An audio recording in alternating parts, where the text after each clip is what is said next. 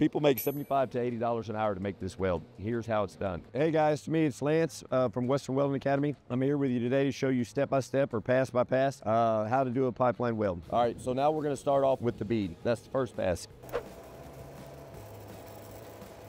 As far as the bead, you want the rod, you're gonna want the rod angled and pointed towards the center of the pipe at all times. We don't wanna put a lot of pressure on the rod. It's more of a dragging process. You get your heat set right, then let the rod do the work. Let it burn the bevels off. If you have to start pushing and jamming on the rod, you're already in a situation you don't need to be in.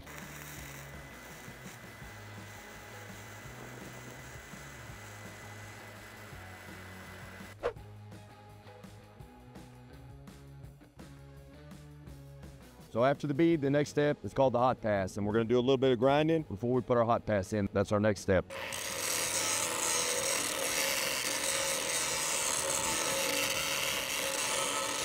Okay, now that we've got it ground, the next process or the next pass is gonna be called what we call the hot pass. Basically, uh, my hot pass, I'm gonna this, I'm gonna run mine a lot hotter. That's why it's called a hot pass.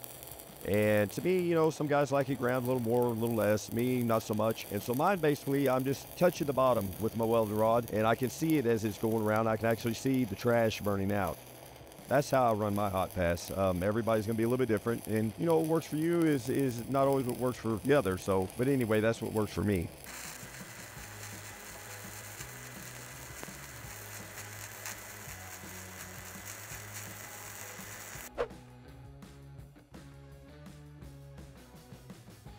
Now that we got the hot pass in, we're gonna go back with our first filler.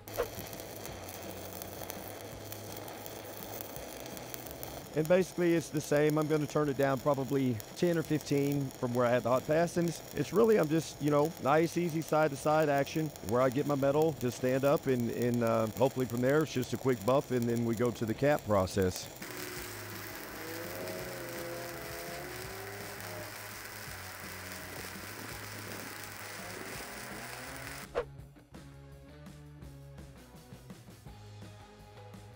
Okay, now that we got the filler in it, I've got a little area that's right through here. It's got a little concavity, a little too much for me, for my liking. Everybody's different. But anyway, I'm gonna run me a little quick strip through here, and then we're gonna come back and we're gonna cap it.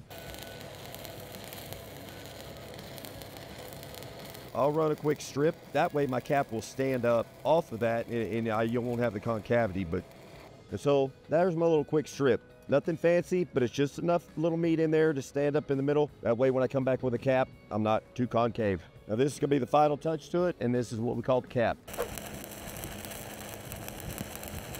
I'll come off the top, a few quick little strokes, and basically once I break over about two o'clock, it's for me, it's just a side to side action.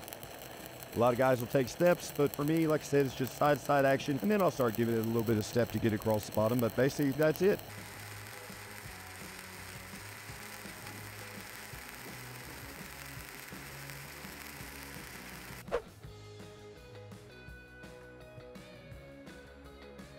Okay, friends, that's it for today. I appreciate y'all joining in and seeing the step-by-step process of making a downhill weld or a pipeline weld. And uh, got any questions or are interested in being a pipeline welder or just actually uh, learning downhill, come to Western Welding Academy. Well, we'd love to have you here.